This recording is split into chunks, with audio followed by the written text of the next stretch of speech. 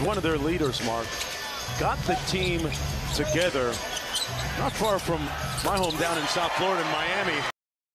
Texas Tech. Yep. One year at Texas Tech under Chris Beard. Here he is for his first points. Got it. Western Union. The Western Union folks have been so great all season long. Sitting in the front row. McClung got it and a foul. 25 for Howard. Oh, length of the court pass and McClung. Oh, you're right, Scott. You got a little bounce. I told you he could jump. And that's the end of this one. A little bit of a sour taste.